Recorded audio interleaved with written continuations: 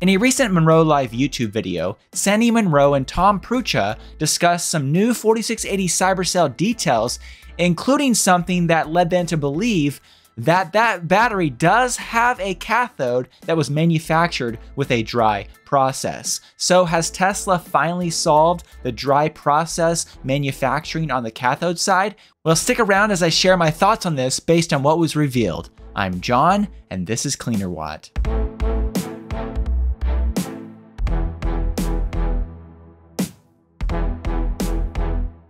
Tesla's dry electrode manufacturing is supposed to revolutionize the way batteries are manufactured, but the process has been very difficult for Tesla to commercialize, especially on the cathode side. For example, the first gen 4680 battery cells that Tesla used in the Model Y for a period of time only had a dry process manufactured anode and not a cathode. And even in their next generation cell design that was used in the Model Y for a short period of time before the Cybercell, that next generation battery, as confirmed by James Ma on X.com, still had a traditionally wet process manufactured cathode. However, as you might be aware, the Munro and Associates team had been tearing down a Tesla Cybertruck, and not only are they analyzing the truck, how that was built, but they've also started analyzing the cyber cells in the battery pack. In a video published on June 21st, Sandy Munro and Tom Prucha, who is the director of electrification at Munro, shared some interesting preliminary cyber cell cathode details,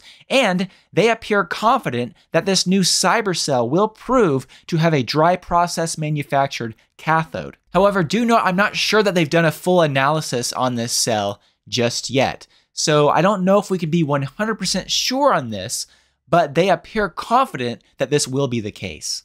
Now, beyond the cathode details, which I will discuss shortly, they also confirmed that this battery cell has a new compact cell design that drastically lowered the battery cap profile and allowed more room for the electrode jelly roll. With that being said, here's what Sandy and Tom revealed about the Cybercell cathode in that video. Sandy specifically mentioned referring to the Cybercells, quote, these batteries appear to be a little different in that there's nickel and there's cobalt, but no manganese. Now, when Sandy Munro said that the cathode of this battery had no manganese in it, that really surprised me because Tesla's first generation 4680 battery cell, the cathode was made of nickel, manganese, and cobalt. So for this next generation battery to not have manganese, that's a big change. In addition, in a test that I mentioned in a previous video of a second generation cell design that was in the Tesla Model Y for a period of time, at least some of the later structural battery pack Model Ys before Tesla discontinued that pack. Apparently, that particular chemistry was a nickel, manganese, cobalt, aluminum, or NCMA battery chemistry. So, once again, a different change from the first generation cell design to that second gen Model Y battery cell to the Cybercell now not having manganese, at least in this iteration that the Munro team tested out of the Cybertruck. Now, I assume Sandy Munro and the team will release more battery details in the future, and they didn't specifically mention all of the cathode details other than that it had nickel and cobalt and no manganese.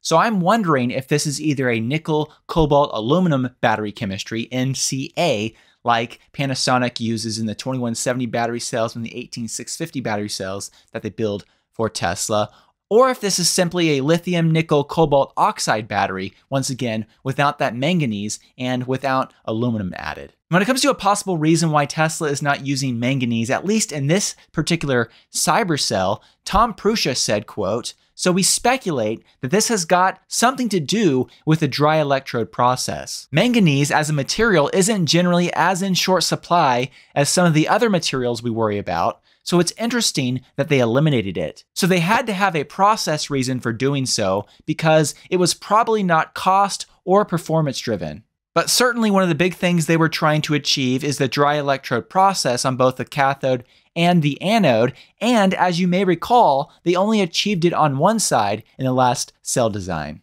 So, whatever the magic that allowed them to do that, and we have high confidence we will find it to be a dry process for both this time. However, that worked, it looks like eliminating the manganese helped with that somehow.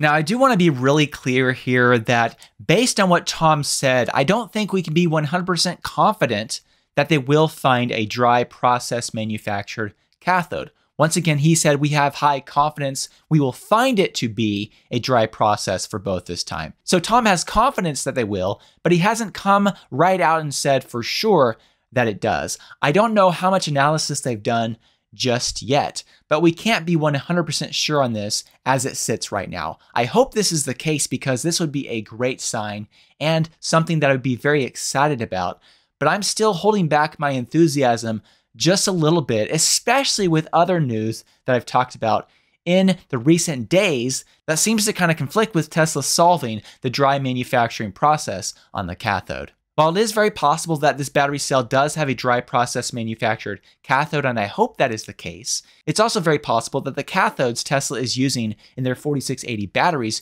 they could be purchasing these cathodes from outside companies like Panasonic or LG. For example, I covered this in a recent video, but apparently Tesla is working on a deal to purchase a large amount of electrodes from LG, according to this Korea Economic Daily article. In this article, it was reported that Tesla ordered 6 trillion won of electrodes from LG Energy Solutions. And while this article did not specifically mention which electrode, whether this was anodes or cathodes or both, since they have apparently figured out how to manufacture their anodes with their dry process, I believe it seems very clear that this would be a deal for cathodes, not anodes. In addition, the way it's written in this article makes it look like these are finished electrodes, not just active electrode materials that Tesla is going to use to manufacture these cathodes or electrodes, because it says specifically here battery manufacturers process anode and cathode materials together with conductive materials and binders to create electrodes, assemble them into battery cells,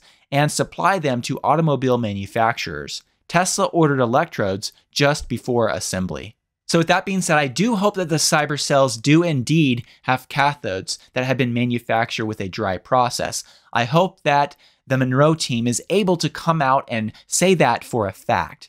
But I just wanted to go ahead and put that out there that there is a chance that even though this battery does not have manganese and that led Tom to believe that's going to be a cathode manufactured with a dry process, it could just be a cathode that was manufactured by, say, for example, Panasonic. I don't have any official sources saying that Panasonic is supplying uh, 4680 cathodes to Tesla, but I believe that is in the realm of possibility. And if it is, for example, a nickel, cobalt, aluminum cathode, an NCA cathode without manganese, of course, that does not have manganese in it, that, of course, could explain this. And I don't know if that's the case or not, but it's very possible that it's something like that where Tesla is purchasing these cathodes from someone else and that they are still having issues with the dry manufacturing process and that this is not indeed a dry manufactured cathode in this battery. I hope I'm wrong on that, but I believe that is a strong possibility.